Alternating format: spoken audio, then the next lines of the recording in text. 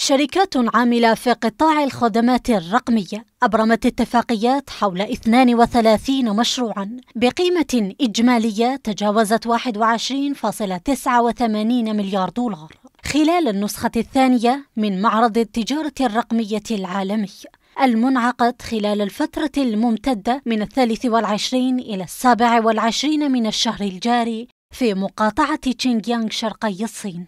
كما حضرت كل من فنلندا وجنوب إفريقيا كضيفتي شرف. وتناولت التظاهرة مناقشة مواضيع عدة تمثلت في تدفق البيانات عبر الحدود وحوكمة الأمن والتمويل الرقميين. وكان الرئيس الصيني قد تعهد في قمة التعاون الاقتصادي لدول آسيا والمحيط الهادي في سان فرانسيسكو بتسهيل الإجراءات أمام المستثمرين الأجانب. فيما كشفت السلطات الصينية عن مجموعة من التدابير لتعزيز الخدمات المالية للشركات الخاصة كجزء من الجهود المبذولة للمساعدة على تحفيز نموها.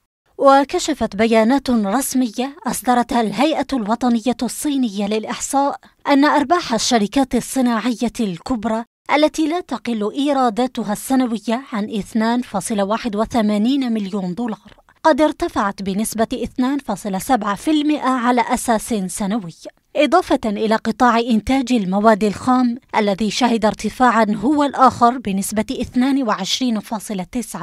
22.9% حيث أدى انتعاش الطلب في المراحل النهائية لأعمال التصنيع إلى ارتفاع الأسعار بشكل عام.